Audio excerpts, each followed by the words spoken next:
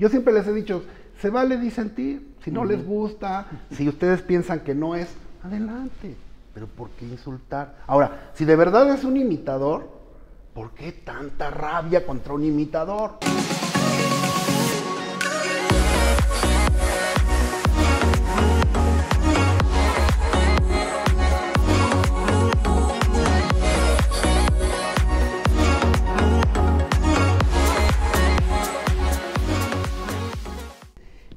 José después ya pues mermado en cuestión musical y ya de repente empiezan a narrar ahora que están tan de moda las series de la vida biográfica de un artista y sale a la luz un chico, Manuel José, que le da vida en una de estas teleseries donde narran la biografía de, de, un cantante tan famoso, en este caso de José. Y Manuel José pone la voz y pone hasta la actuación, porque no es un actor, y sale a la luz y a conocerse por mucha más gente. ¿Y cómo, cómo Manuel José de repente influye en la vida de, de, Francisco Lembo? ¿Cómo lo conoce? ¿Cómo hay esa aproximación por el gusto de la música de Manuel José? Pues empecé a escucharlo como todos en ese programa de Yo Soy José José, pero realmente pues lo escuchas en el celular y dices, bueno, pues es un imitador más, ¿no? Entonces, este, hasta hace un año, cuando muere José, eh, él se presentó en un lugar que se llama Foro 1869 en la Ciudad de México. Pues yo pasé por ahí y vi que se iba a presentar. Y dije, ah, pues voy a venir a escucharlo porque mi hija, pues, yo no sabía que mi hija de 15 años era seguidora de, le gustaba José y le gustaba Manuel. Ella tiene gustos muy raros en la música, pero yo nunca la influí ni la obligué. Y entonces dije, la voy a traer, pero la tenemos que disfrazar de adulto para meterla, ¿no? Bueno, pero yo pensé que iba a ser una noche normal. Dije, bueno, pues vamos a ver a un imitador como hay miles imitadores de José José. Muchos se parecen a él, muchos cantan muy bien. Y entonces yo dije, bueno, pues de eso se va a tratar, ¿no? Yo ya sabía más o menos, pero no lo había escuchado en vivo.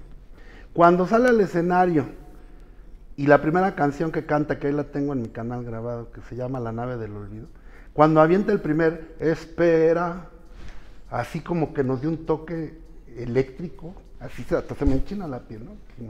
Es José José. Esa garganta no es imitada. Esa garganta, y lo he sostenido en mi canal, es clonada. Porque no te voy a decir que soy el gran experto, soy muy mal cantante, pero si algo tengo bien es esto. Y he oído las canciones de José José mil veces, mil veces, ya me las sé de memoria. Y cuando lo escuché a él dije, nunca había escuchado a nadie con ese timbre de voz, idéntico. Los, los, los quiebres, la, las notas, eh, pero aparte el carisma que tiene el Señor cuando sale al escenario, tú sientes que es él. Entonces heredó el talento, heredó la garganta y la sencillez. Entonces no hay duda. Y Francisco, vienen ataques a él constantes, vemos una lluvia de bombardeos, demandas, eh, malas opiniones de la prensa, que lejos de reconocer el talento, porque sabemos en la plática estamos hablando de un chico talentoso, de que debería de pues, recibir el apoyo de todos y de más los medios de, de comunicación, de que tiene un talento enorme.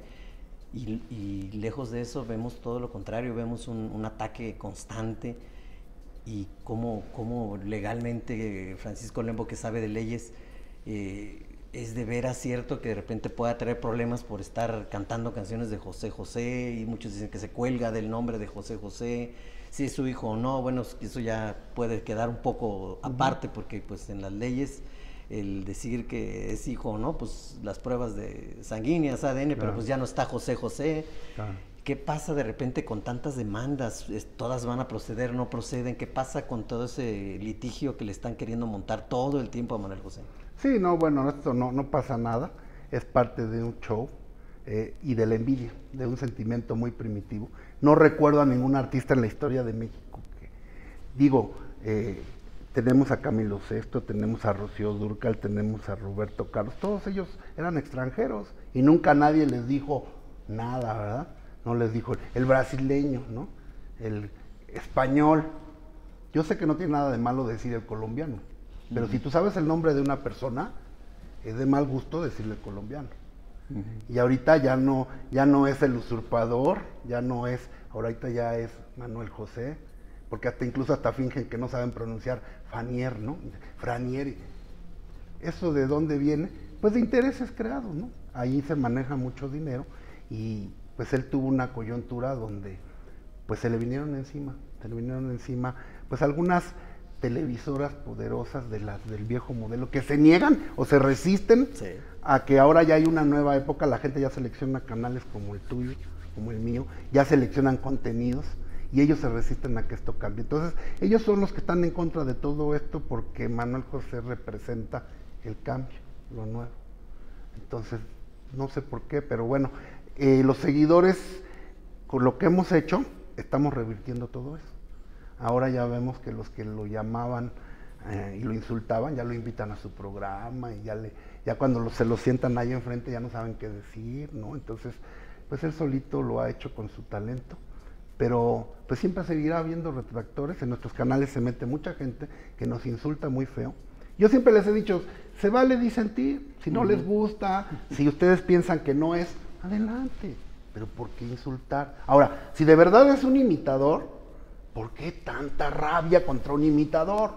Ahora, ¿puede cantar las canciones? Sí, porque las canciones no eran de José. Las canciones tienen sus autores. Y cada que él canta, se le pagan las regalías a los autores, los autores felices. Los que tendrían que prohibir serían los autores. Él no tiene ningún problema. Porque además nunca ha dicho, él es el primero que dice, ya no me toquen el tema. Y él nunca se ha hecho pasar ni por José ni nada. Simplemente es Manuel José y se acabó. Y si lo van a meter a la cárcel por llamarse Manuel José, pues tienen que meter a 10 mil mexicanos que se llaman así.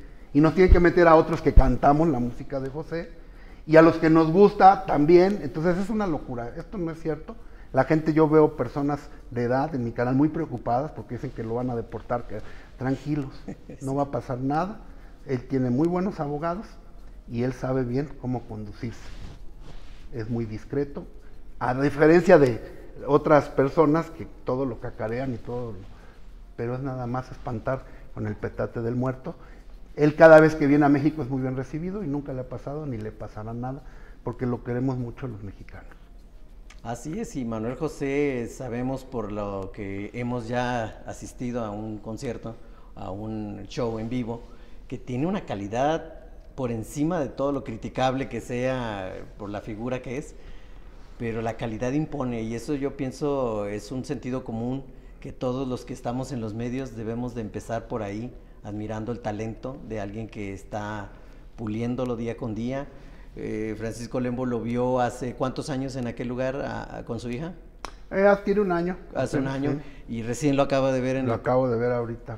Y venimos de este. venimos de por allá y por allá coincidimos y, y sí o no estoy de acuerdo con usted, Francisco, pero es la calidad la que impone y la que tapa bocas, ¿cierto? Sí, él ya ahorita ni necesita, yo así lo he sostenido, ni necesita, es más, ahorita ya le pesaría ese parentesco, porque con el único que él quería emparentar era con José.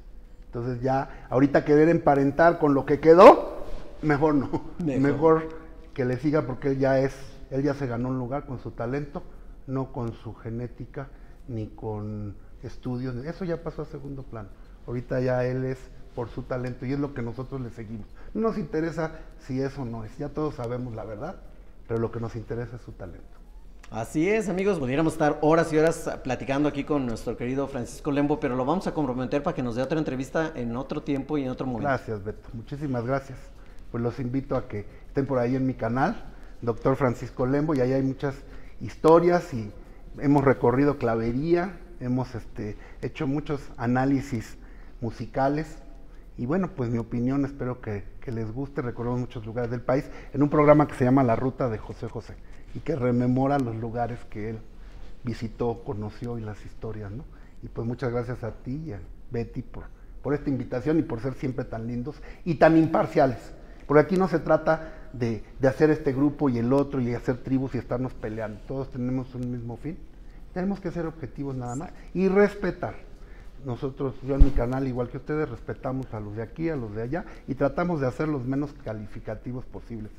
Y ya cada quien, y el tiempo pondrá a cada quien en su lugar, como ahorita ya está ocurriendo, ahorita ya estamos viendo que las cosas se están poniendo en su lugar. Así es, así que hacemos una pausa porque esta plática va para largo, pero vamos a invitar en otra ocasión, como ya lo comprometimos a Francisco Lembo para que regrese y nos comparta, porque yo sé que lo de Manuel José con las demandas y esto es tela, tela y tela para seguir cortando y armando chambritas y cortes.